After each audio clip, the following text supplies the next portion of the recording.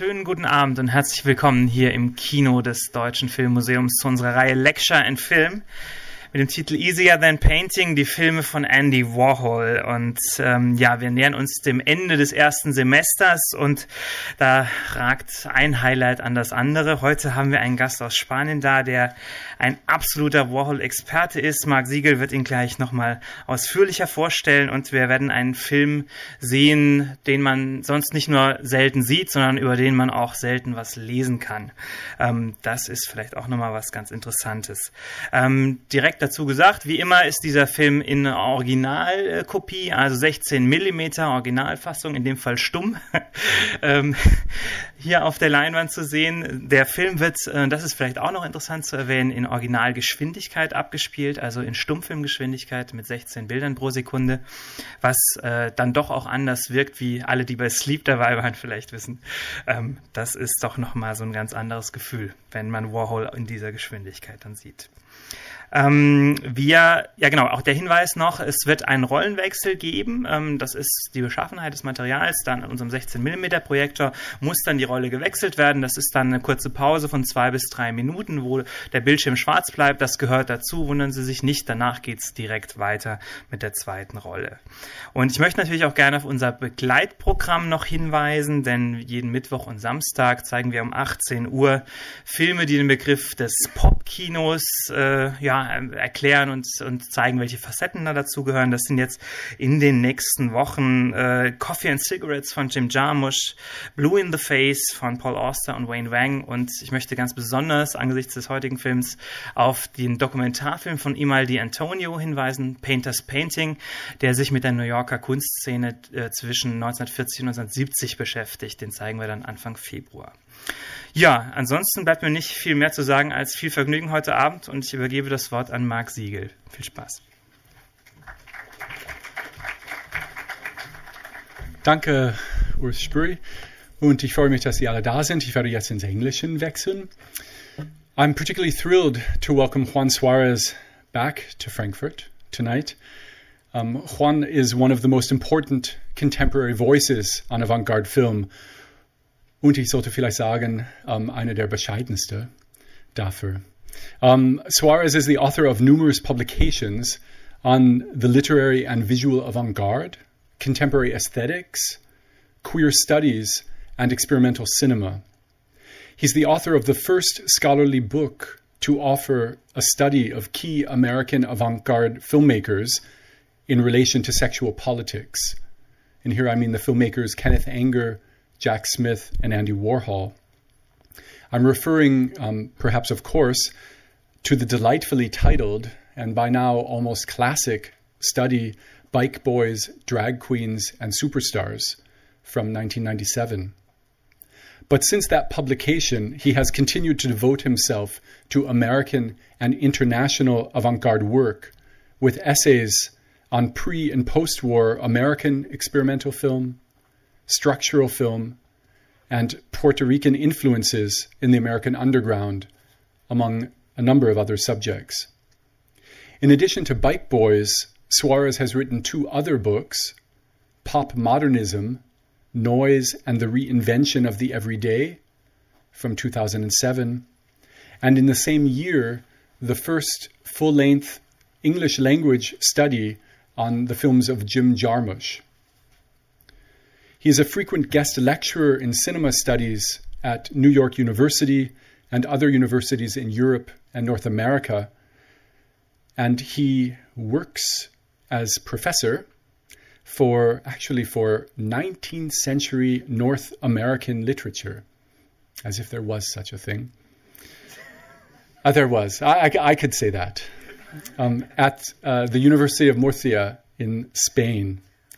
When we invited Juan to speak in the series, he was actually the only um, person who we contacted who said, Oh, I would love to come. Um, and which films would you like me to speak about? And he listed about five or six films, um, which um, about which he can speak. So he's quite uh, fluent in um, discourse of Andy Warhol's films and quite familiar with the films. I'm personally very happy that he chose a film that I have never seen, and that I'm very excited to see and particularly very excited to hear what he has to say about it. So please join me in welcoming Juan Suarez.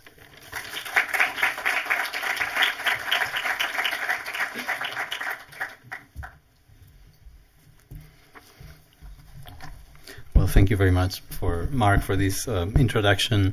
Uh, I wanted to thank also very especially Henning Engelke, Regina Prange, um, uh, Vincent Hediger, and again Marc Siegel for inviting me to this really wonderful series. Uh, and thank you, of course, uh, uh, to the staff at the Film Museum, and very especially Urs Spörri, who's been like right on top of you know, or, you know, organizational matters, and you know the various people who have uh, helped me with technical issues today. And thank you for coming. I mean, I'm sure there are other things in Frankfurt to do tonight, and you know, I'm very happy to see uh, quite a crowd. the film Henry Geldzahler uh, you're seeing, you know, one of the Im- an image from it is one of the least con- conspicuous in Warhol's minimalist canon. By minimalist canon, I mean the early silent films that Warhol made in 1963 and 64, not all of which are actually that minimal. This is the period that runs from the time that he shot his first films, shortly after he acquired a wind-up Bolex camera in July of 1963, to the time when he shifted to the production of talkies, the sound films he started to make at the very end of 1964. As one of the minimal titles, Henry Geldzahler is much less celebrated and therefore less frequently screened and known than other films of this early phase. It does share the somewhat elegant premise of other films from this period, such as Kiss or Eat, in that the title, uh, sorry, gives away its content. It is a film of Warhol's good friend at the time, critic, critic and curator Henry Henry Geldzahler, this gentleman here, uh, uh, just totally being Henry Geldzahler, just totally being himself on camera. Although I will eventually come around to what being someone might amount to, especially when mediated through film. Henry Geldzahler doesn't have the erotic innuendo of blowjob, with the evocation of off-screen sexual activity whose result we see in the face of the film's protagonist, nor, nor does it have the frank eroticism of Couch, a film that contains some nudity and several sexual encounters between factory regulars. And it never acquired the aura of epic jest, of an epic joke that um, uh, envelopes the much longer Empire or Sleep. You may remember that that's an image from Sleep. You may you may remember that the Empire is a static shot of the Empire State Building taken on a summer evening from sundown to approximately 4 a.m., running just over eight hours. And Sleep consists of 22 different shots of poet John Giorno fast asleep. The shots of this film are edited and recombined in such a way that the film lasts about 5 hours and 20 minutes at silent speed. Henry Geldzahler is similar to Empire, Sleep, and Eat. Uh, Eat is 28 minutes of you know a friend, another friend of Warhol eating a mushroom. Uh, like these films, Henry Geldzahler emphasizes duration and distended temporality. Yet Henry Geldzahler seems to me is much closer to Empire than to the other two. Uh, you know you know, um, uh, eat or, or, or sleep. Both eat and sleep were put together in small increments. They were shot with a Bolex, a camera whose cartridge could only fit 100 feet film rolls, the equivalent of about four minutes of film at sound speed. While sleep is much more intricately edited and more complexly framed than eat, both films have a hiccuping structure. You know, it's like a hiccup. Like, um, as some of the shots are looped and recur in different moments. Like Empire, however, Henry Geldzahler is made up of longer fragments, two 1200 foot reels, eh, 1200 foot reels, that screened at the silent speed of 16 frames per second bring the film's length to 99 minutes. Eh? So it's not, uh, you know, it's, uh, it's made of, you know, longer fragments. It's not like, uh, you know, made, put together out of small increments. Uh, the film is in some ways a fallout from the shoot of Empire. It was filmed the following day when, uh, you know, after Empire was made, Sunday, July 26, 1964, with the same camera, a rented Auricon camera. Uh, it was a camera that allowed for the capture of image and sound uh, simultaneously. Um, uh, but the camera was used perversely with the sound turned off just to capture image. The camera was not due back at the rental shop until the following Monday, so Warhol, legendarily thrifty, decided to optimize expenses by making, by making a film of his friend. In this manner, he could also use the two reels left over from the marathon session of the previous evening when he shot Empire. Warhol summoned Geldzahler to the factory in the afternoon of July 26th, where the latter found the camera already set set up on its tripod, pointing at the famous red velvet Art Deco couch. Geldzahler was asked to see it, and the camera was turned on and just recorded his presence, just as the previous day it had recorded that of the Empire State. Here is Geldzahler's description of the event, and this is from an interview that was carried out in the 70s. All this is Geldzahler's account. So he said, I called Andy, and he was making a film. I got to the studio and said, What are you making a film of? And he said, Of you. I said, What should I do? He said, Smoke a cigar. I had a big cigar with me. I was also stoned, mildly stoned, on some good pot, if I remember correctly. I said, How long is the film going to be? And he said, An hour and a half. And Geldzahler said, What should I do? He said, Don't do anything. Just sit there and smoke a cigar. So I sat, this is Geldzahler uh, talking, so I sat on the edge of the couch. I was horrified because Andy didn't stand behind the camera. He didn't tell me to move. He put the magazine, the you know the, the reel of film on. He loaded it. He started it. He went to make some phone calls, and he'd be back once in a while and wave at me. It was a fantastic experience for me. First of all, because the hour and a half went by so quickly. I mean, he was stoned. Uh, but seeing the film, I suddenly realized that Andy's nature is really a great portraitist. And, and, that if you sit somebody in front of a camera for an hour and a half and don't tell them what to do, they're going to do everything, their whole vocabulary. I went through my entire history of gestures. I could see from viewing the film later that it gave me away completely the extent to which I am infantile, the extent to which I am me- megalomaniacal, all the things one tries to hide come through the film. And this is the end of his account. Excuse me. Uh, this is not the first portrait Warhol had taken of his friend.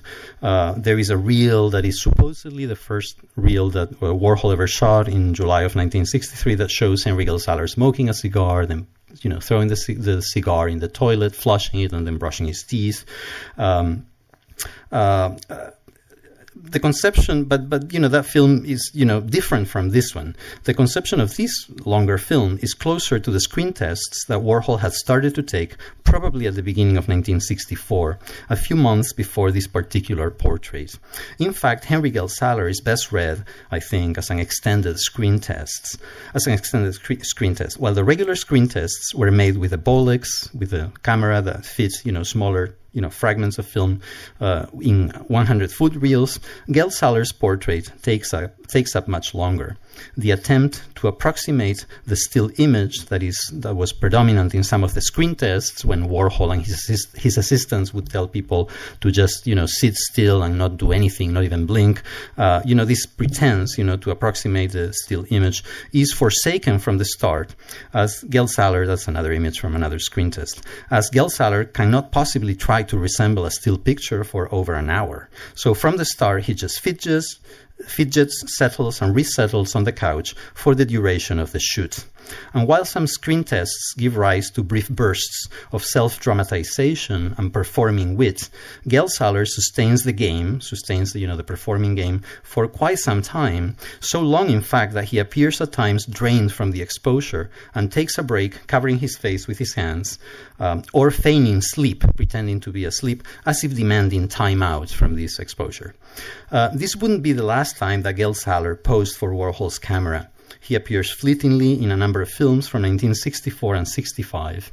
In addition, in 1965, he sat for a conventional screen test, which was found among the films projected behind the Velvet Underground in the Exploding Plastic Inevitable shows. The screen test shows him, in Callie Angell's words, quote, placidly untying and removing his necktie, turning his collar up, retying the tie, and smoothing his collar down again. End of quote. It is worth noticing that all these portraits of Geldzahler are similarly task oriented. You know, he brushes his teeth, smokes, takes off his tie and puts it back on, plays with his shirt collar. The trifling, playful quality of their content contrasts with the idiom of psychological depth that Geldzahler himself used to describe his experience of watching the film. And yet, most readings of the film have picked up on the seriousness of Geldzahler's account and added other ingredients to the mix. I just men- I will just mention three readings. Scully Angell, for example, rephrases Geldzahler's idea that the film, quote, used the unmitigated scrutiny of the camera to gradually evoke hidden aspects of Geldzahler's personality, end of quote. She, uh, Angell detours the film through the defiles of high culture and sees in the setting and in Geldzahler's pose a graphic parallel with Pablo Picasso's 1906 portrait of Gertrude Stein. Uh, at, in the Metropolitan Museum collection, Henry Geldzahler was uh, curator for contemporary art in, at the Met, at the Metropolitan Museum, and this uh, painting is owned by the museum. Uh, and the similarity is reinforced for Angell by the fact that, as, as, a steady patron and supporter of Warhol, Geldzahler played Stein to Warhol in the early 60s. Angell further sees in the film a sort of egomachia, a sort of ego struggle between Warhol and Geldzahler, or rather between Warhol's indifferent camera and Geldzahler's softness and vulnerability. I quote again. The majestic pose with which Geldzahler begins this ordeal, sitting upright on the couch, glasses on, hand on his hip, is soon replaced by obvious expressions of ennui and discomfort, and disintegrates into a nearly fetal posture by the second reel. End of quote. In his recent book, The Black Hole of the Camera, uh, critic and filmmaker J.J. Murphy echoes and expands Angell's views, proposing that beyond the parallel with Picasso's painting, Geldzahler, quote, attempted to, to go through a repertoire of facial expressions presumably based on various art historical portraits, end of quote. Where he gets this idea I don't know. I mean, you'll see the film and maybe, you know, we'll be able to discuss this later. Uh, Murphy agrees with the adversarial conceit spotted by Angell and sees Geldzahler filmed from a slightly high angle at a distinct psychological disadvantage. These are literal, word, uh, these are literal words. Sweaty, ruffled, regressing, and eventually defeated, Murphy says. Geldzahler clearly loses his battle with the camera. More amiably, Wayne Koestenbaum, in a monograph on Andy Warhol, reads A Game of Seduction in Geldzahler's posing, but still agrees that the film is an exercise in subjective unveiling prompted by the machine's scrutiny, by the scrutiny of the camera.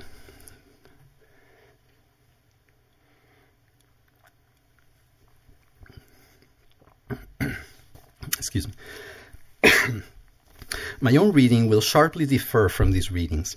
I think there are other ways to read the film without regard to the rhetoric of authenticity or self revelation, and paying attention in, instead to the dynamism of its surfaces and materials.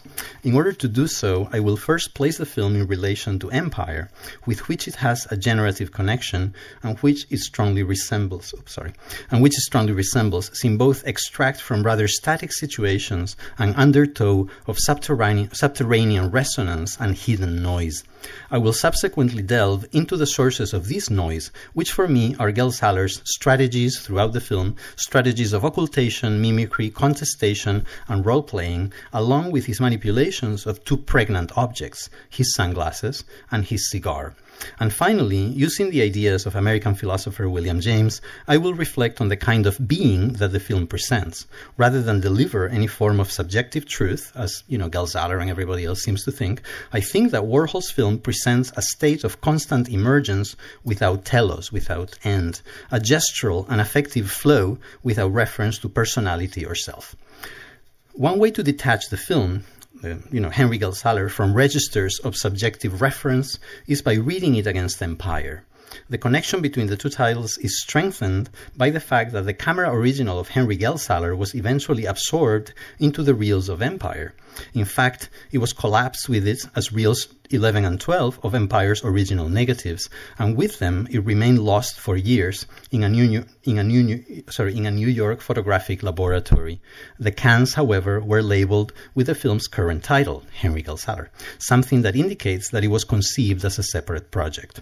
Two separate projects, then, you know, Henry Geldzahler and Empire, but at the same time intriguingly close A building, then a body, the body of a friend, are placed in front of the camera for endless contemplation in two consecutive sessions. These are two very different these are two very different kinds of objects. The blank face of the famous building on the one hand, and the endlessly expressive moves and modulations of Geldzahler's face and body on the other. At some level, however, both building and person were background elements to Warhol at the time. They were part of his immediate environment. The building was part of his material landscape, you know, sheer backdrop to Warhol's New York life, subliminal, subliminally noticed, one might conjecture, in his ramblings around the city, particularly since it was still the tallest structure in the area and one of the tallest in the world.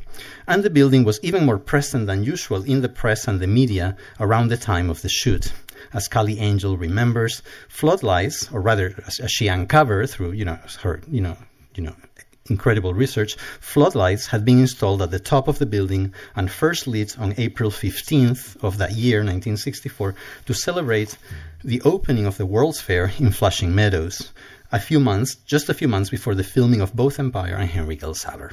The person, Geldzahler, however, was a different kind of background, a very animated, intensely interactive part of Warhol's milieu. Henry and Andy had been close since July of 1960 when a common friend, gallerist and critic Ivan Karp, brought Geldzahler to Warhol's apartment on Lexington Avenue. Warhol was quickly taken with Geldzahler's educational credentials since you know Geldzahler had pursued but not finished, if I remember correctly, a PhD in art history at Harvard. He was also taken with uh, Geldzahler's accepting attitude towards mass culture, with his love of pop music, his sense of humor, and his acumen, his intelligence. Looking around Warhol's apartment in his first visit, Geldzahler figured out that the artist must like Florine Stettheimer, a faux-naive painter, member of the New York uh, Dada circles in the 20s. And he quickly offered to show Warhol the Stettheimers in storage at the Metropolitan the following morning. Warhol was completely taken. He wrote in his memoirs, right away he became five hours a day on the phone, see you for lunch, quick turn on the Tonight Show, friends. The friendship would eventually cool down, in part because after 1965, Henry had a living partner, Christopher Scott, and in his orbit, he developed a new circle of acquaintances away from the factory. The factory, Geldzahler felt, was becoming by the, by the mid 60s more a celebrity haunt than, than an art studio, and therefore was kind of losing interest for him. Uh, the two friends came near rupture when Geldzahler was appointed curator of the American Pavilion for the 1966 Venice Venice Biennale and failed to invite Warhol to take part in the show. They would later make up, but for a while Warhol felt bitter about this desertion. Still, he would never forget, as he put it in his memoirs in Popism, that when he still didn't have a gallery and none would take him, Henry was, as he put it, pounding the pavement for him, trying to get dealers interested in his art. During Warhol's tough transition from commercial to gallery artist, Geldzahler had been a constant encouragement. And once Warhol established himself as a leading pop artist, his friend had been the source for, for some of Warhol's most brilliant works. For example, the Death and Disaster silk screens and the Flower series, to cite just two. I mean, these were both ideas that Geldzahler threw at Warhol, and of course, you know, he ran with them. Uh, in the summer of 1964, however, when the film was made, Warhol and Geldzahler were still were still riding high on their friendship, speaking several hours a day on the telephone, calling each other any time of the day or night for banter or gossip. No wonder Warhol used to say that he had been the original Mrs. Geldzahler. This is a, a sculpture from their common friend Marisol, uh, the Venezuelan uh, sculptor painter, relocated to New York. Uh, you know that shows them together dressed identically to sort of you know emphasize the kind of you know the the, the, the connection between them. Uh, so both the both Empire, the Empire State and Henry Geldzahler were part of the backdrop of Warhol's life, but further ties connect the two films. Both may be watched at length, yet remain inscrutable, fulfilling in some ways Warhol's dictum that the longer you look at something, the more it becomes drained of meaning, and the emptier and better you feel. The idea is witty and rhymes with Warhol's praise of surface and mechanical inexpressiveness, yet I feel it is not entirely right. It seems to me that the, more, that the more one looks at something, especially if one does it through Warhol's films, the more this something shivers, pulses, shifts, and mutates, the more it becomes inhabited by a micrological agitation, a molecular quiver that brings about endless variation and prevents the observed phenomenon from fully coinciding with itself. Such molecular vibrancy lies, lies at the heart of stardom, one of Warhol's obsessions. The great stars, he wrote, he wrote, are the ones who are doing something interesting every second, even if it's just a movement inside their eye. Uh, end of quote. Except that with the right kind of attention, everything is a star. Everything is doing something interesting every second. After all, everything has a tendency to metamorphose and exfoliate if only one watches long and closely enough. In Empire, which is again, you know, this eight-hour film of a of a building. Uh, this agitation comes initially from the boiling grain of the film in the first reel. You see the little dots that make up the image. Uh, the film goes from near complete whiteout at the very beginning, as the lens aperture has been set to night illumination, to the slow emergence of the outline of the Empire State in a field of boiling grays as the light ebbs out of the sky and the sun goes down. Once the image settles into darkness and the top of the Empire State blooms with light, the internal movement in the image arises from a series of largely involuntary phenomena flares and whitewashes caused by improper exposure of the negative, faulty laboratory processing, light occasionally leaking into the magazine, and by the regular recurrence of the blinking light on top of uh, a nearby building, on top of the Metropolitan Life Insurance Company, on the left of the image. You have the you know light there below the Empire State. Uh, further surprises arise when the lights are turned on momentarily in the room where the camera has been positioned to film the Empire State. For three separate instants, and they are really flashes, they last a second, Warhol, his assistant John Palmer, and underground filmmaker and programmer Jonas Mekas are briefly reflected in the window panes before the light goes out again. Given these spectral human appearances, it makes sense it makes sense somehow that Henry Geldzahler ended up lost at the end of the reels of Empire as a longer materialization of human presence, in some ways as still, and in some ways as astir, as you know, moving as the as Empire's nightscape. The surface disturbances that punctuate Empire could be regarded as noise, a fuzzy growth on the image that prevent, prevents straightforward reception, muddles its sense, and pushes it toward the indiscernible, indiscernible, sorry, and formless. Henry Geldzahler is similarly a buzz throughout his film. While he does nothing in particular outside idling on the couch and smoking a cigar, he never stops doing something.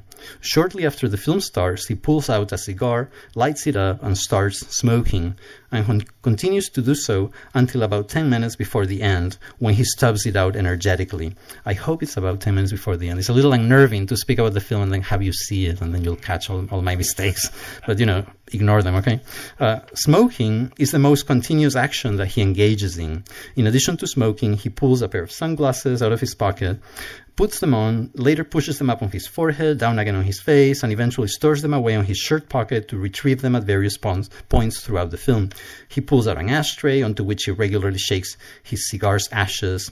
I think I'm really making this interesting for you, am I not? Uh, he produces a handkerchief, blows his nose, blows his nose, uh, st- stares down at the ground and looks straight into the lens. He's occasionally lost in his thoughts, apparently oblivious of the camera, but at least twice he's pulled out of his reverie uh, by an off screen presence, perhaps Warhol himself, at which he smiles and arches his eyebrows. He frequently runs his hand through his hair and tucks it behind his ears. He, he not only moves his facial features and hands, his body shifts vertically and horizontally within a sort of cross inside the, fa- inside the frame. He slides up and down the couch, and when he slides down, his hair sort of sticks up rather comically against the back of the couch, and he leans sideways, prop his head, props his head against the arm of the couch, or comes to rest odalisque-like on his elbow facing the camera. Throughout, I find him likable and even handsome at times, and you'll think I'm crazy. I can see the liveliness, the charm, and the responsiveness that lured Warhol. Yet I am not convinced that all these gestures deliver a personality. They rather make up a gentle rumble, the murmur of a body just being, rubbing against the things of the world. One could call Henry Geldzahler a noisy portrait. Noisy because it is somewhat against the grain of traditional portraiture, which had aspired to encapsulate a rounded off, distinct image of its subject, conveying its meaning, whether social, psychological, psychological or historical. Instead, Geldzahler's microscopic movement and subtle effervescence is emphatically not about himself or about a self. It seems to me more a dialogical interplay with some objects at hand. Besides, there are in it, there are in the films degrees of citation, mimicry, and provocation that take us away from interiority and subjectivity and place the images in an external, supra-subjective constellation. Let us look in some detail at the way he plays with his glasses and at his smoking. Both actions are oops, sorry, a sort of basso continuo, a sort of continuous bass running throughout the film. We know that smoking is what Warhol had in mind as the skeleton activity on which to hang the rest of his friend's gestural exuberance. But what about the sunglasses? Geldzahler pulls them out at the start of the film, and they prompt him to considerable play. They look quite similar to the kind Warhol tended to favor. As far as I've been able to track, these are Moscot-Miltzen tortoise shells, first marketed in the 30s as a leisure accessory for golfing, tennis, sunbathing, or driving. You may spot them in, for example, the pictures of uh, Jacques-Henri Lartigue, uh, who was fond of, you know, uh, portraying, you know, people in, you know, driving cars and, you know, the sportive life of the interwar periods. Uh, it may not be easy to figure out the exact connotations of this particular piece of eyewear in the 60s, but I assume that it had a vintage touch, and judging from my acquaintance with the trends of the period, they were not common. They quickly became part of Warhol's persona. He wore them day and night, in and outdoors, at leisure, and what I find more shocking, at work. I don't think it has been remarked how odd it is that Warhol mixed that Warhol mixed color, painted, and silk screened with tinted glasses on, as if in complete disregard to nuances of shading. And yet, you know, he's a great colorist. Uh, by putting on practically identical glasses as those of his friends, was Geldzahler perhaps mocking Warhol, offering himself as a satirical double of him? Was he resisting Warhol's conceit that the film was about Geldzahler? Warhol wanted Geldzahler, on film. He would get imitation instead. We may see here a different form of egomachia, a different form of struggle than that suggested by, by Angell and J.J. Murphy, and even by somebody like uh, Amy Taubin as well, who suggests also this kind of struggle between Warhol and Geldzahler, the camera and Geldzahler.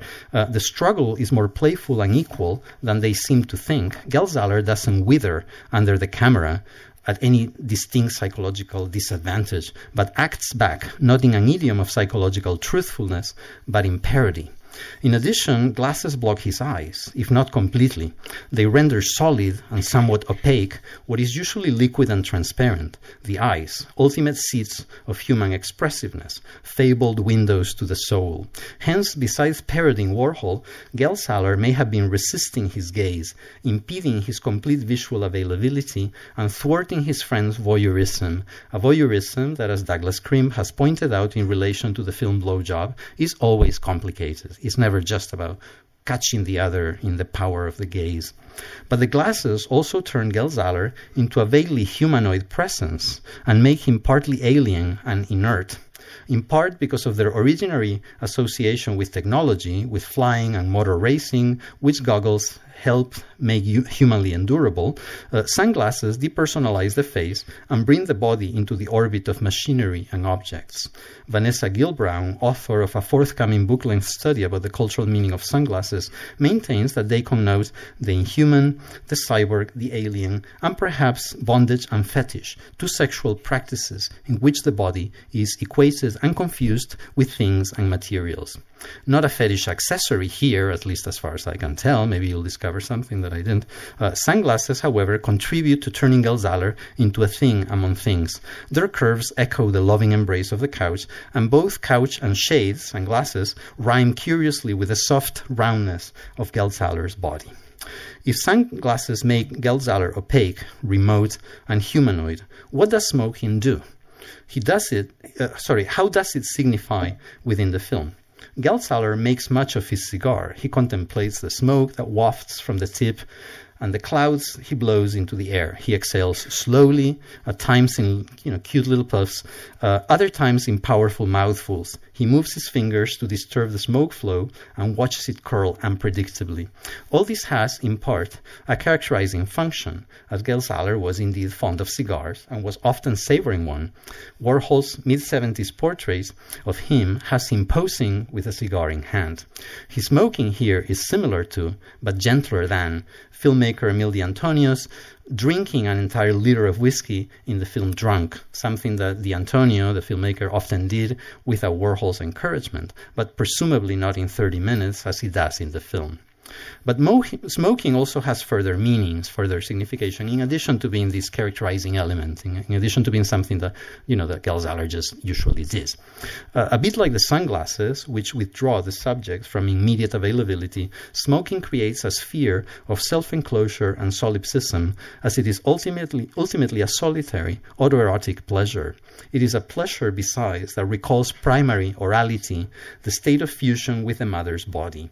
This body and this state of fusion are gradually forsaken by means of what psychoanalyst Donald Winnicott famously called transitional objects, repla- replacements generated by the subject, among which are the voice, breathing, things introduced into the mouth to make up for a lost breast, and eventually props that combine orality and tactility, such as blankets and stuffed animals.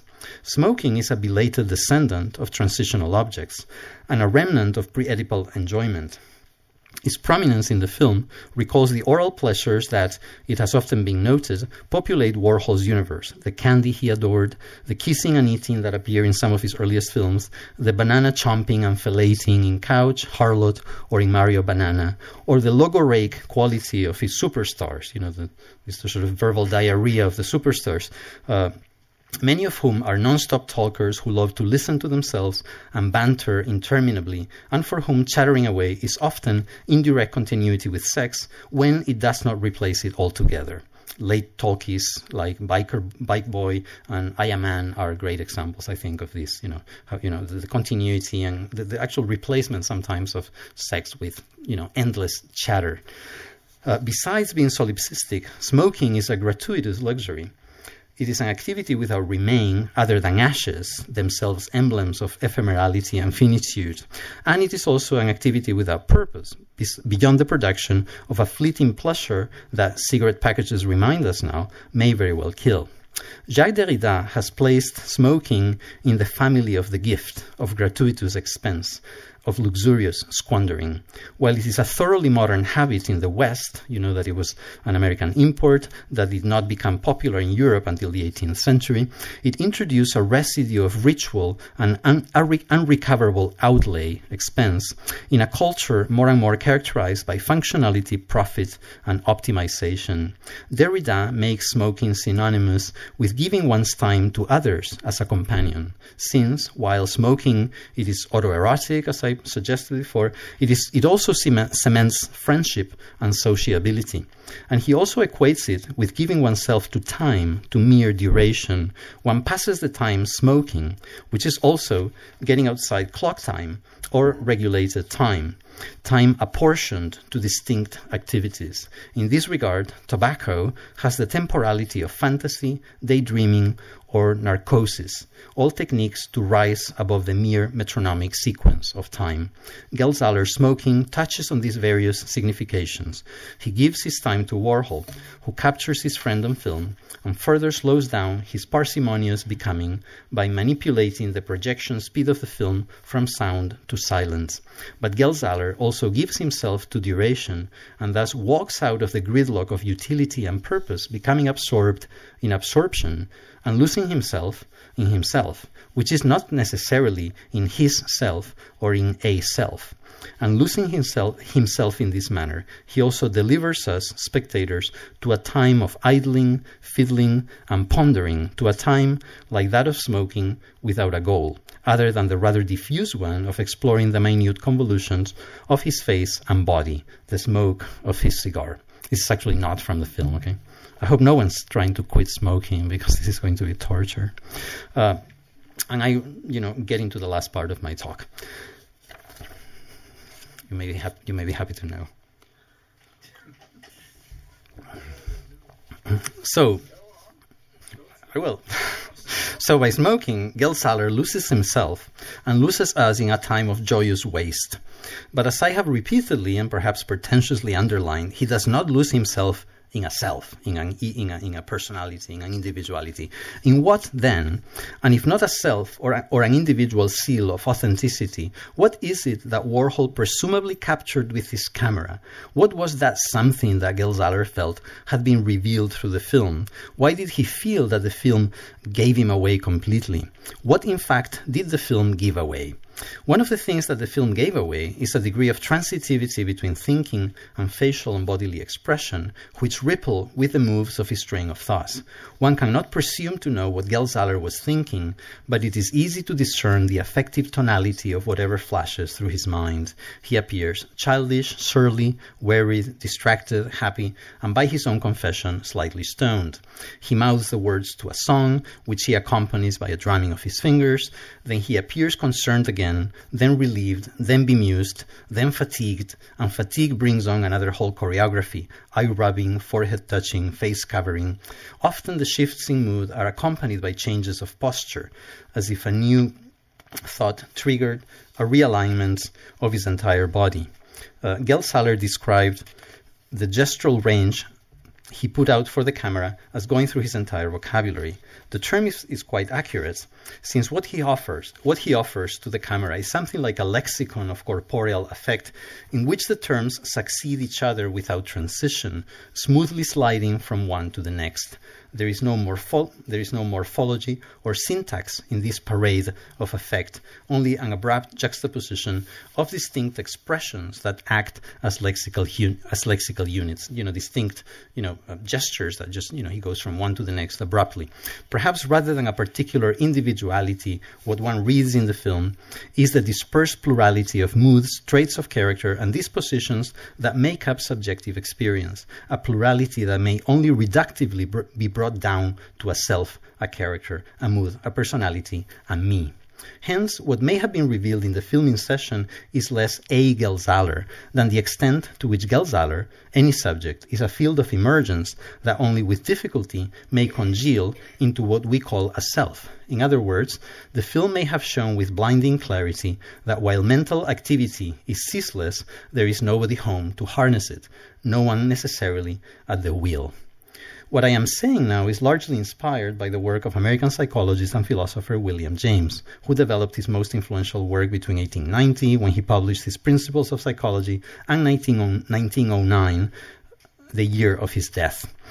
Because mental life unfolds in the form of proliferating multiplicities, sorry, multiplicities precariously tied into chains of association, James proposed to conceptualize it as an additive structure based on what he called conjunctive connections. The, you know, you can see that Deleuze picked up on some of his ideas.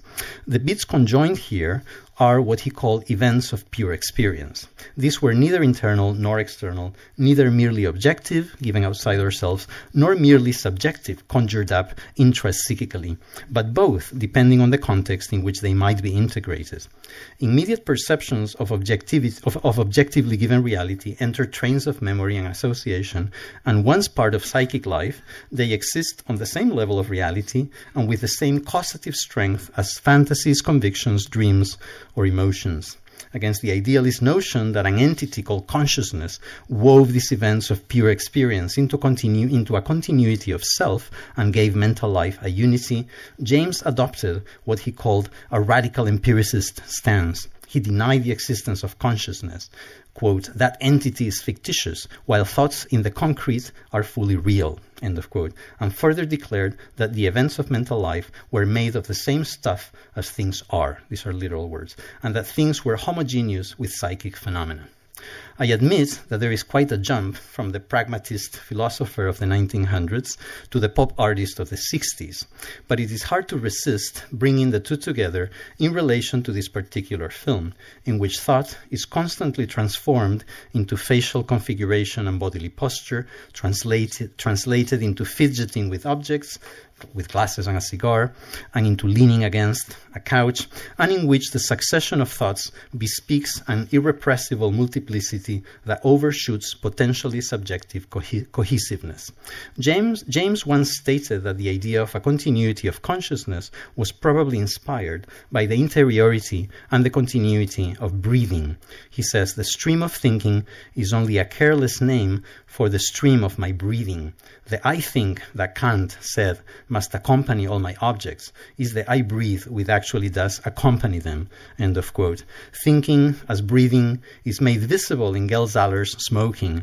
This is another way in which the film renders thin like the presumed intangibility, the presumed immateriality of mental life, and evokes abstract depths in mere smoking.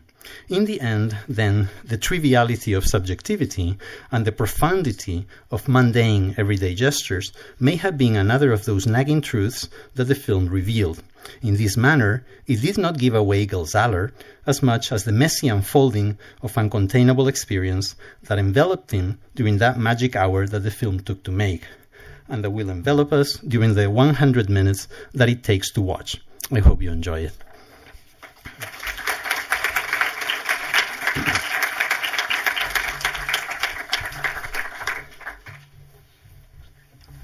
Yeah, thank you very much. Und äh, ich wechsle ins Deutsche. Wir machen jetzt fünf Minuten Umbaupause. Ähm, in der Zeit, das Filmcafé hat geöffnet. Sie können sich da nochmal was zu trinken holen. Und dann werden wir durch einen Gong signalisieren, wenn es weitergeht. Bis gleich.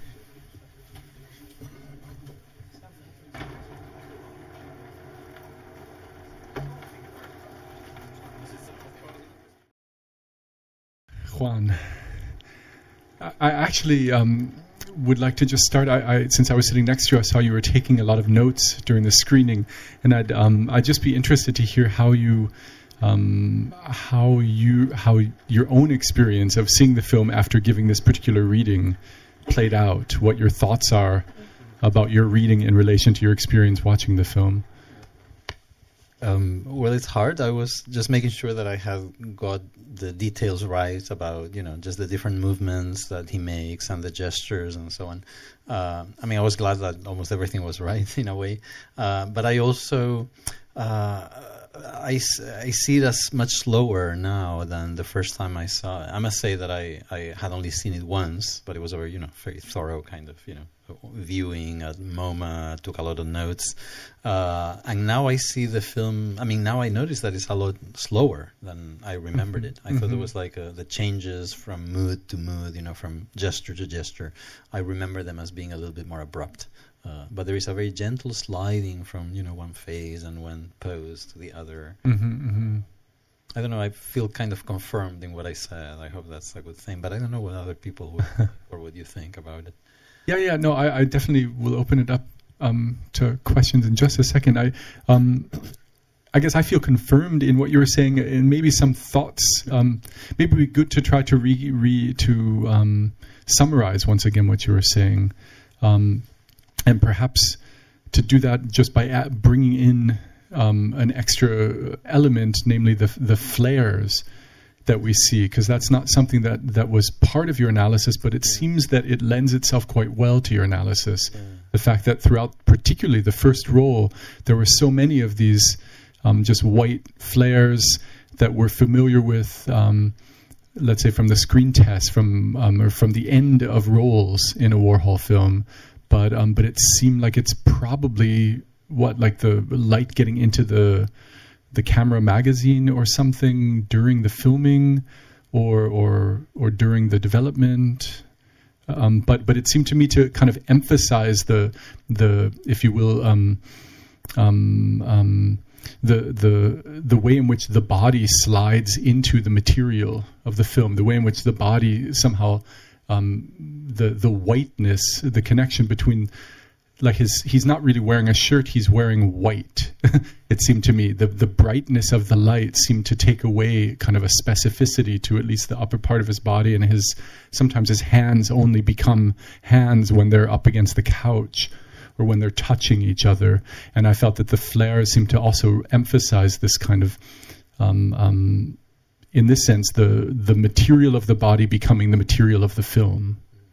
If you, I don't, I, I didn't summarize your argument, but. No, I can't do that right now, but No, but I wonder if you have some thoughts about about this issue. No, I think it does introduce another level of eventfulness that is not gestural, it's not personal, it's not bodily. It doesn't come from the person, that it comes from, but it comes from the machine. So it made me think of not only the temporality of the body kind of hanging out and just doing nothing, you know, in front of the camera, but also the there's a different temporality that comes from this accident, which I think that the hmm. magazine is really not properly closed, and that's why the light leaks in and you know whites out hmm. the film. Uh, so that is sort of yet another level, another kind of rhythm that is Mhm. superimposed over I don't know the smoking and the playing with the glasses and the the the, the sort of constantly moving, you know, from gesture to gesture. Mhm. Um, uh, but I think it does. Um, I mean, it's a little bit like what happens in Empire, which is this film where nothing happens, but a lot of these little accidents take Mhm, place mhm. and they add this level of uh, again it's a very microscopic eventfulness over a basically static situation so this is what i thought in relation to the flirts i must say I, I sort of had noticed them but i didn't work them into my analysis. Mhm, and mhm. uh, they are a lot more frequent in the first reel almost throughout Yeah, than in yeah. the second one. In the second one maybe they noticed and they closed prop- you know more properly the the, the, the, the magazine so that the Mhm. you know there's only leakage at the very end which is common you know when the film is Mhm, about to run out uh, but not not so much before Mhm. Okay, okay. Thank you. I'll leave it. and maybe something else that you asked me before is like you know if I would like summarize again the you know the main idea that I tried to Mhm, bring mhm. up in relation to the film, and that main idea was that I found it extremely difficult to. Uh, I mean, in a way, it's a portrait film, but I am not sure what it tells me about this fellow. You know, other than that he engages in a huge amount of expressions that go from, you know, sullen or angry to naive to. I mean, sometimes he seems to be sort of uh, play acting, you know, uh, acting the vampish kind of seductive lady on the couch. Other times he's Mhm. completely lost in his thoughts. I mean, sometimes he seems angry, sometimes he seems shy, sometimes he actually seems very sad. I mean, there isn't a Henry Geldzahler. There is to me a sort of constant flow of affect, a plurality of emotion, a Mhm, plurality of gestures. So I think it's completely different from what traditional portraiture does, which is freeze the subject into a, an extremely meaningful, condensed uh, view of the person. Here, I think it's more about dispersal, and I think that's why I gave that title. Uh, uh, this, uh, Das Gesicht im Flug, Das Gesicht im um, Flug. Yeah, the, the Mhm. face in flight or something. Mhm. Even though I didn't sort of, you know, uh, sort of attach so much to it in my in what I did, but I think that's basically what I would say about the film. And also, I was trying to get away from the idea that there is an authenticity about it. I mean, I, I don't think there is so much, Mhm, mhm. uh, and that there is sort of a struggle, and that Henry Geldzahler is defeated by this uh, stare of the of a, of a merciless camera that holds him down and wrestles him down to the ground somehow. I think that there is a, a sort of constant fencing. It's a bit like a boxing match, but you know the blows come back and forth, and I don't see him defeated or anything. I think he actually ends, you know, with a very mischievous look at the camera, like.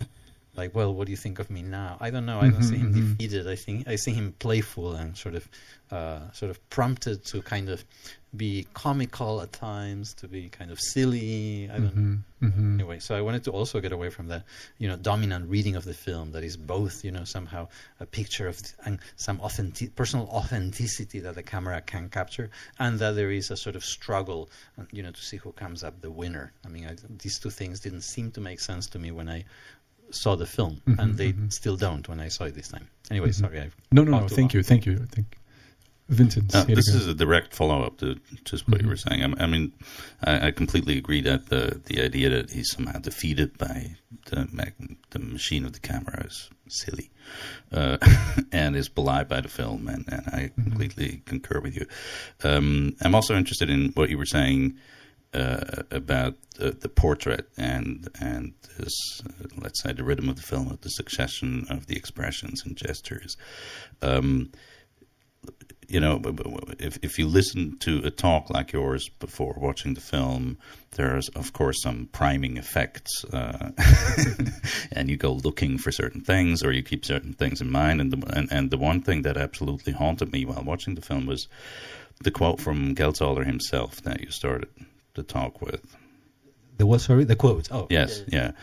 because what struck me about it is that Geldzahler uh, appears to be claiming that it is a portrait and appears to be uh, tr- suggesting that we read this in a quite, let's say, conventional way as a portrait, uh, stressing the revelatory nature, you know, of of the film, saying, and then that's an interesting turn of phrase, if I remember correctly. He says, um, it contains a complete repertoire of my mannerisms, you know.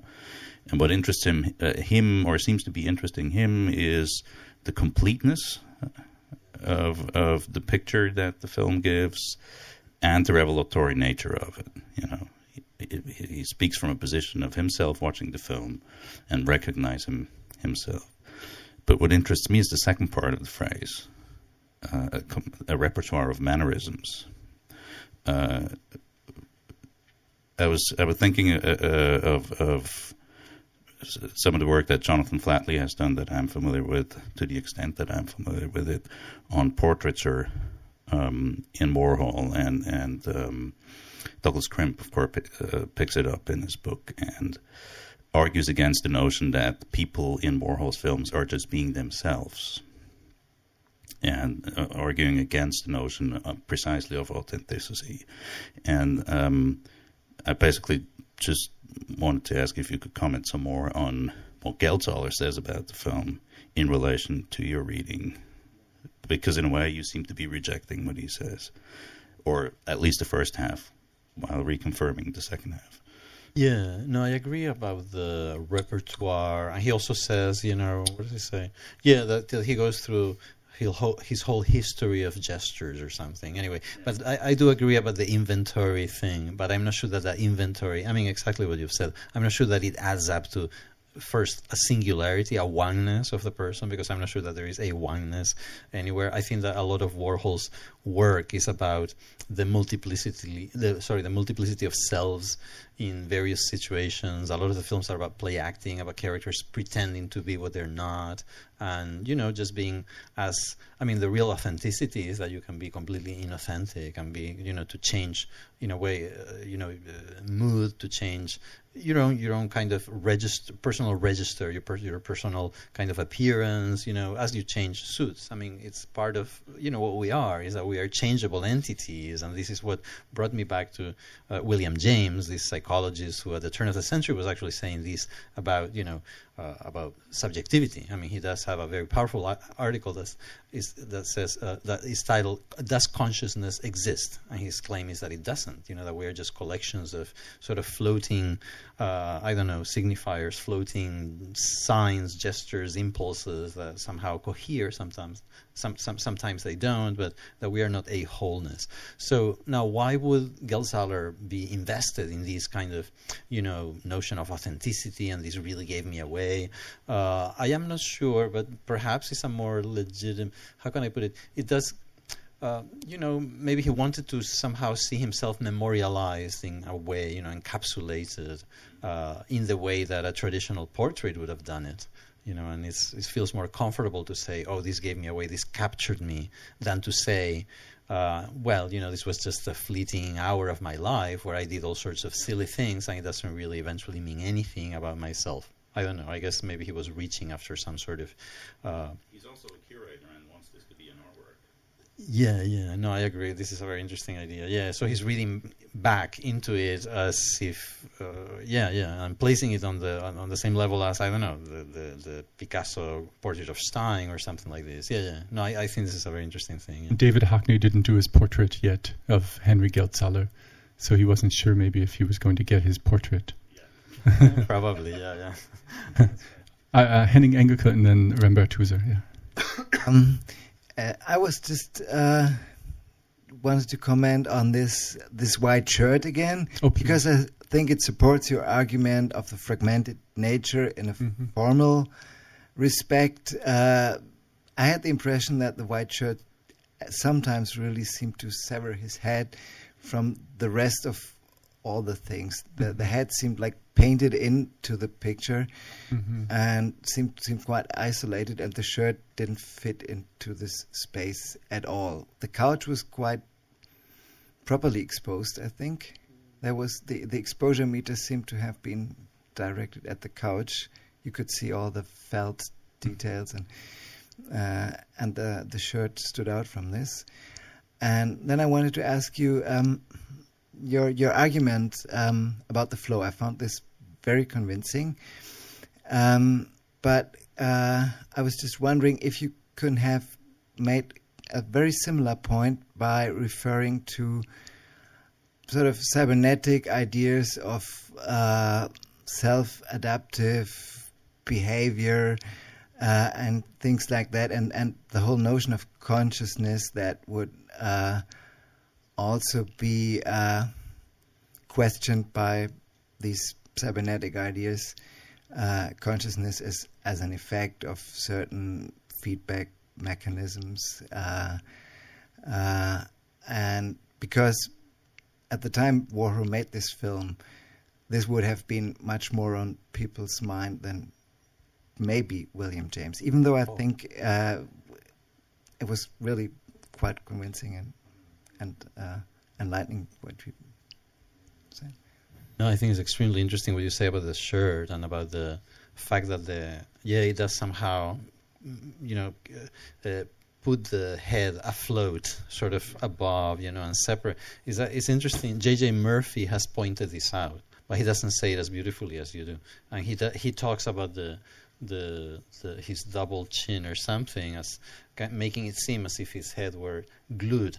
But the but I think it's more much better, more perceptive what you say, and uh, what you Marc, Marc also pointed out that that it is the whiteness of the shirt that somehow, and it's also a whiteness without. Uh, nuance. I mean, it's like a mm-hmm. block of white mm-hmm. that doesn't, and it does depersonalize. I mean, there's like a block of nothingness, of something inanimate there. In, Mm-hmm, exactly. Yeah, yeah, exactly. Versus the animation of the face and the hands. Mm-hmm, mm-hmm. Uh, so this is very interesting. As to the other uh, and yeah, I, this is an interesting thing that uh, yeah, it does support the argument. And if you don't mind, I may use it when I expand this piece. and the other thing is that about cybernetics. No, I think you're totally right. And I could have made that argument, yes, about adaptive behavior and about about feedback systems that were certainly in the air. Uh, they were more in the air a little later on, I think, in the in the in the decade, more around 66, 67.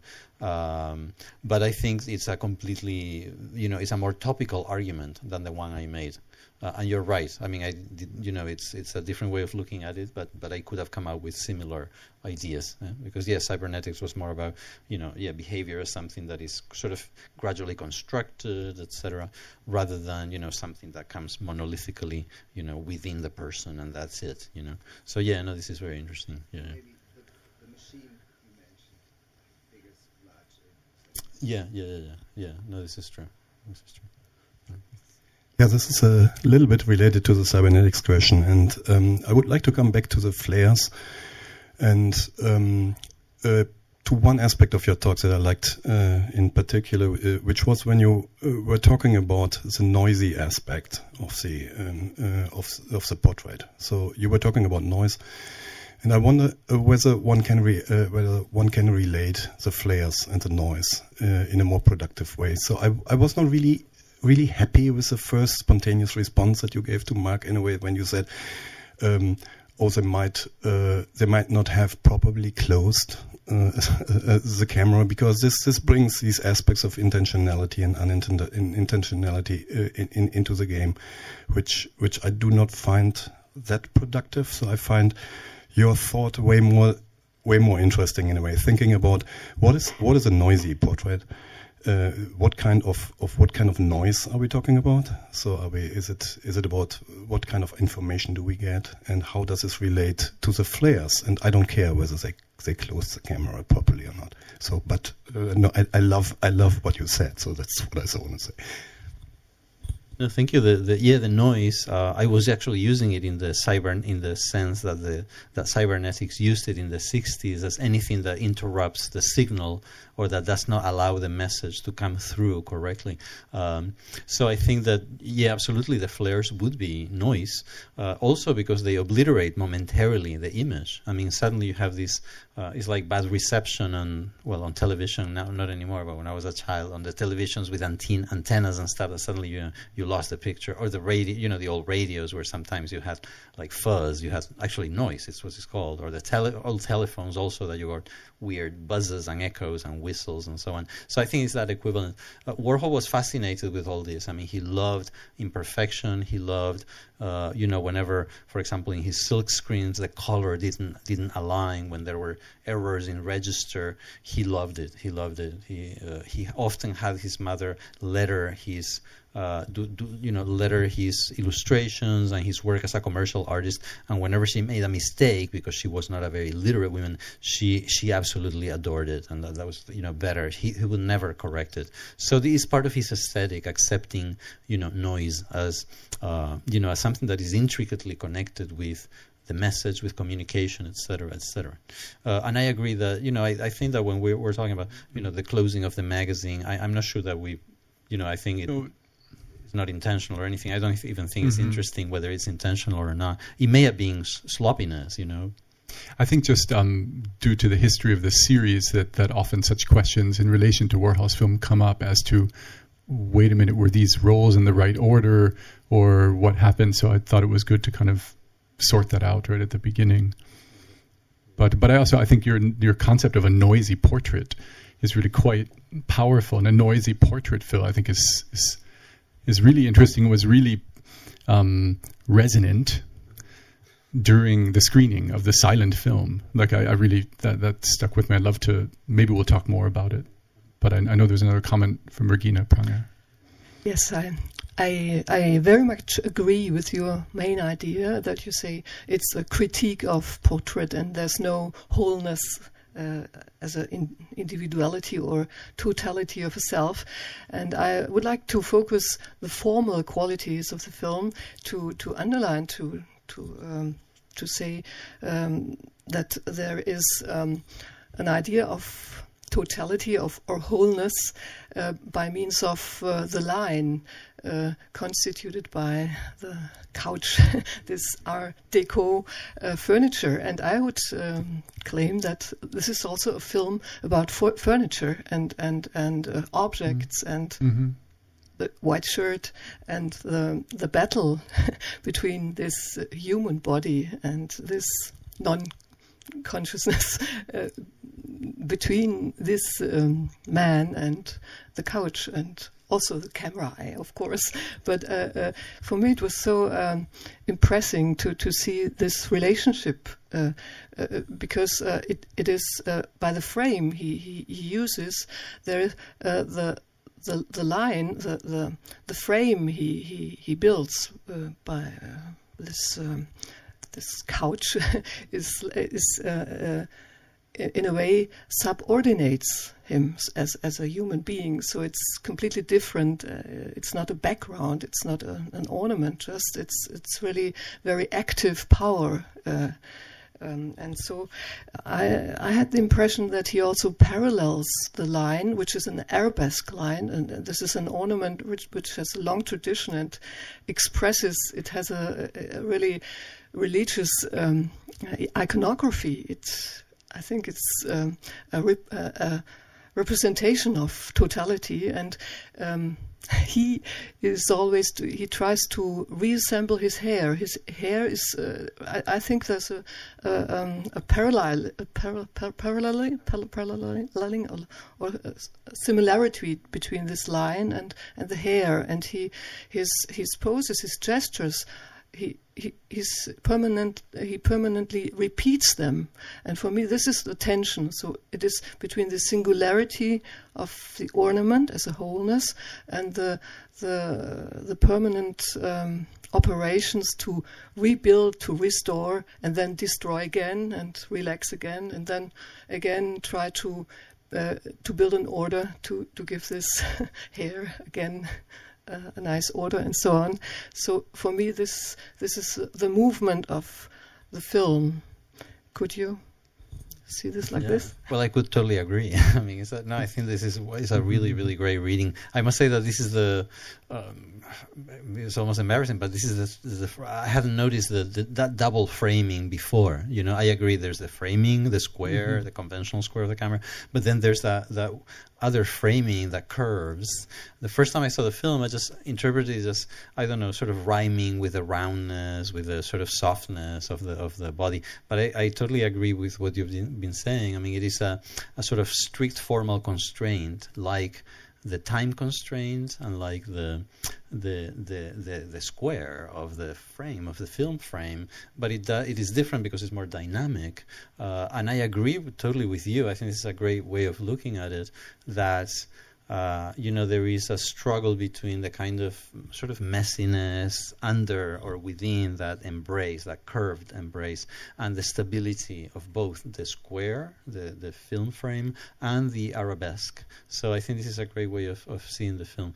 And uh, and it does introduce a counterpoint of stability against you know what you've been describing as the attempt to make and remake himself his hair his hands his the glasses this you know the cigar the, you know lights it up the ashes you know all this kind of messiness inside and the stability of that frame and the, I, I don't know I found it very interesting thank you this is great Uh, bevor Urs Spörri was sagte, ich wollte nur.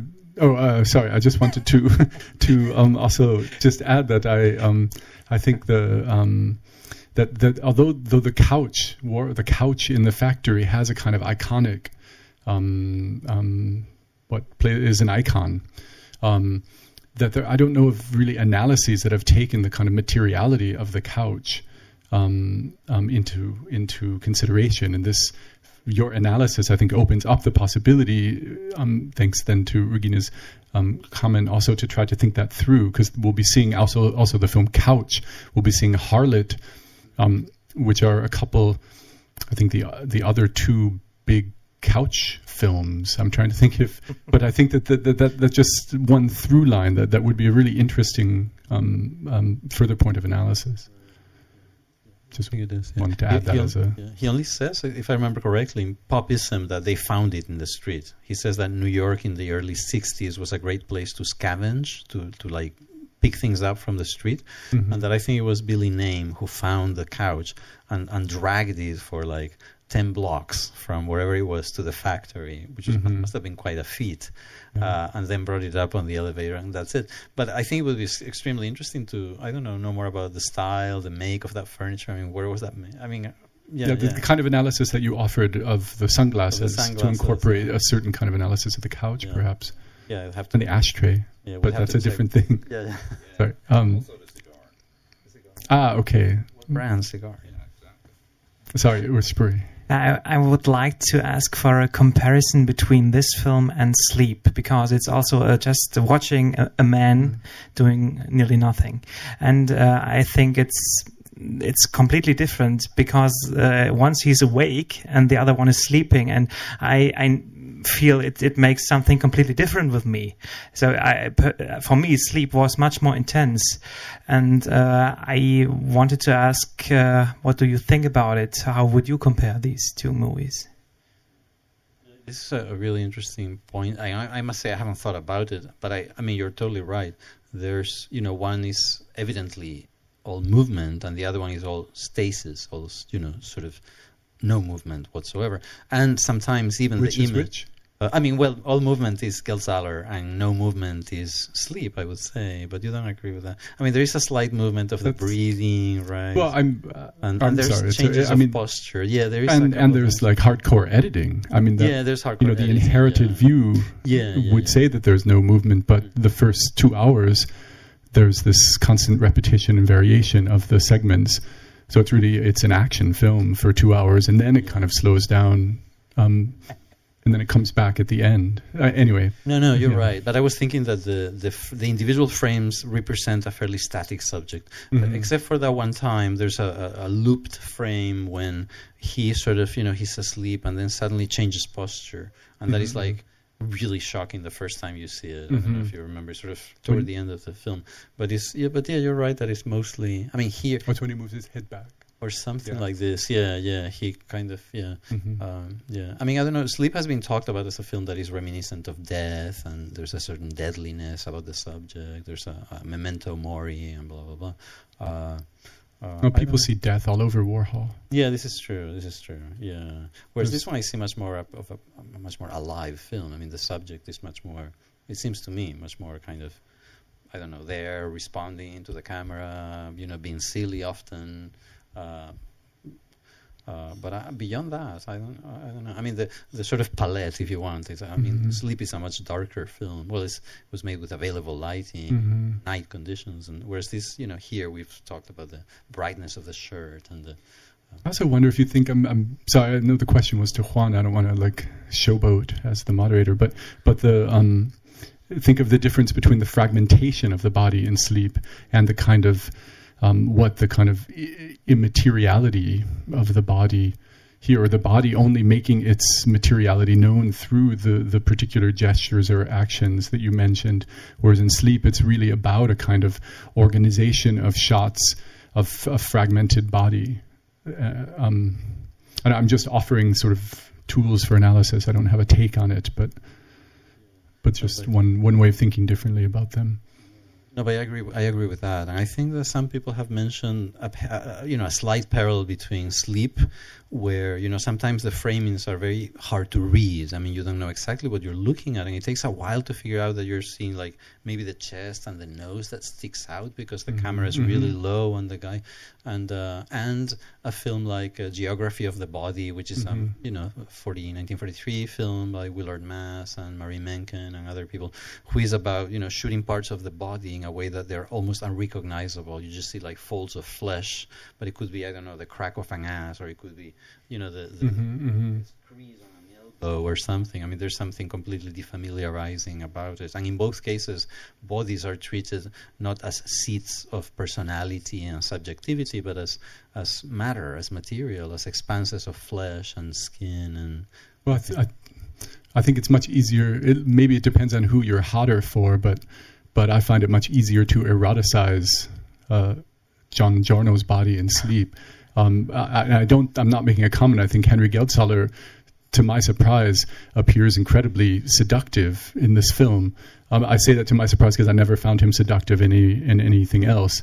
But um, but but I do. But but we shouldn't forget, of course, that that John Giorno's naked in the film, and so the kind of fetishization of the body that takes place through the fragmentation um, is a is a fetishization of of of a naked body sleeping in a bed. Um, so it's a it's already a different kind of situation that asks to some extent for a different degree of intense involvement than than this clothed sort of immaterial body here. And, and if, we, if we wanted to be a little biographical, which we may not want to be, the you know John Giorno was Warhol's love interest at the time, and they they tried to have sex, but Giorno didn't it didn't work out. So somehow Giorno was this inapprehensible thing, object of desire that Warhol wanted to have, and he could have him asleep, you know, filming him, but not in real life. Whereas Geldzahler was more of a, I mean, there was a different seductiveness or a different eroticism, not necessarily sexual, but that had more to do, I think, with Geldzahler's, you know, mind, his knowledge, his kind of, you know, his liveliness as a conversationalist, I think, and so it's a it's a slightly different approach to the two subjects, I think. which isn't just odd. I mean, that's biographical, but there's also in sleep. It it is shot often from the perspective of someone lying in bed with this other man. I mean, it's I was shocked by the tenderness in in that massively long film. Sorry, Regine Prange. Uh, just a detail. I, um, maybe I had uh, would uh, give another answer to your question.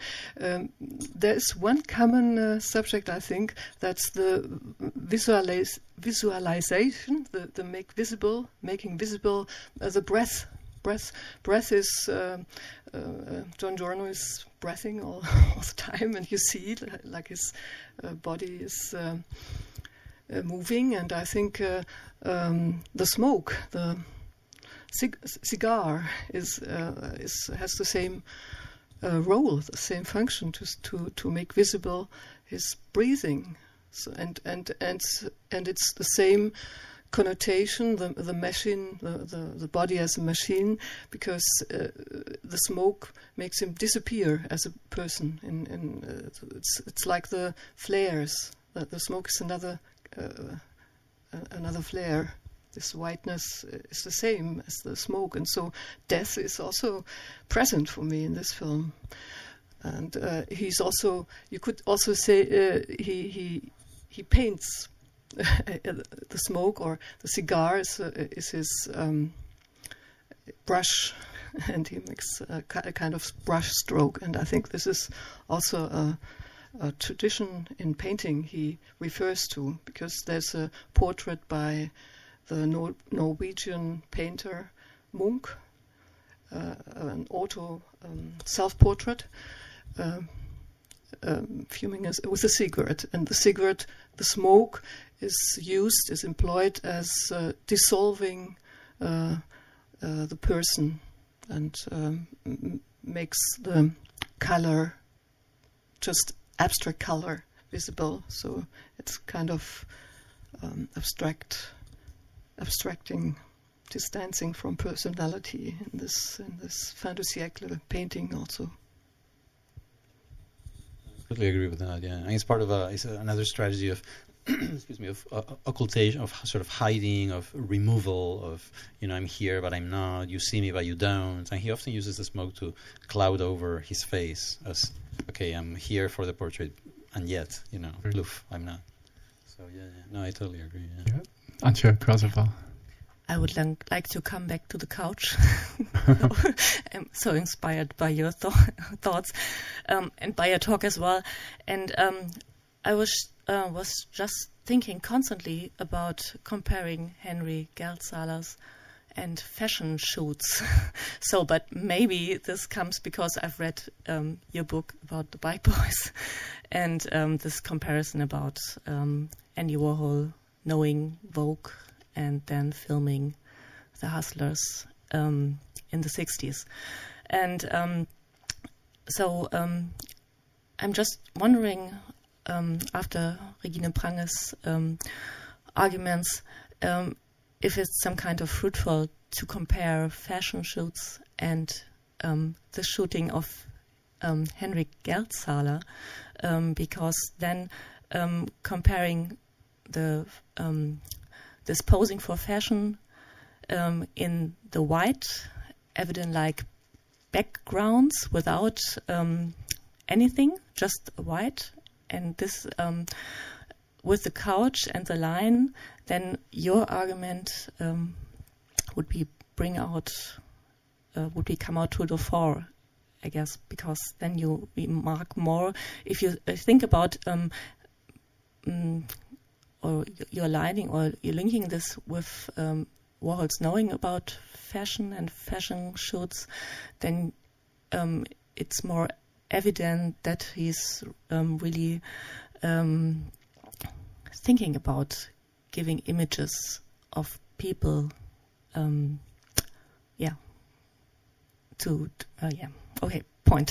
so I hope it's understandable. mm-hmm you want to answer this? I, I, I don't immediately. The only thing I thought of like, was another couch film from Warhol, as you were talking, was Camp, which ends actually with Donyale Luna, supermodel, the first black supermodel, um, kind of like doing a runway walk um, in in the factory. But but I, I don't have a specific. I, I I'm, I'm not sure about I think it's an interesting thought. I somehow don't see this setup as a kind of fashion fashion shoot setup.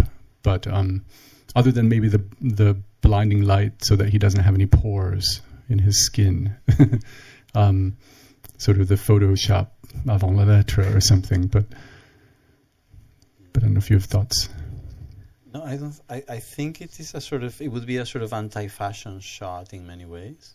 Um, I mean, it seems what I find interesting about Warhol and fashion is that he uses the structure of fashion on unfashionable subjects and people who are not, I mean, who are cool, you know, because they were dressed, I don't know, sort of in a personal way, sometimes not even trendily, but they uh, but what he does is he understands very well the mechanism of publicity, the ability of an image to sort of freeze a particular flow, and then to put that flow into the sort of public sphere. Uh, but here, I think that it's not so much about that. I think it's about the opposite. The, it's about the fraying off and the sort of dissolution of the pose. Because the, the fashion photography is more about posing, about freezing models into particular poses that show them off to advantage. And the, uh, you know, it's a very uh, you know, it's almost the opposite of this. Here is all flow, is all movement, it's all sort of slightly inapprehensible. Whereas fashion photography, I think if it has to be something, has to be clear. It has to be very uh, apprehensible of you know what people are wearing, of the way this is supposed to look, of what we are supposed to think of these, you know, combination of I don't know haircut, accessories, blah blah blah. Uh, whereas he, uh, so it's much more about legibility, and this is more about illegibility, I think. Uh, but what I think he that, that, connects the two ideas is that uh, you know Warhol directs his camera, uh, you know, a, in a very deliberate manner to these uh, unfashionable scenes, knowing or somehow wanting to sort of capture them and put them in circulation. I don't know if I'm answering somehow, but I think it's a very interesting sort of connection to make.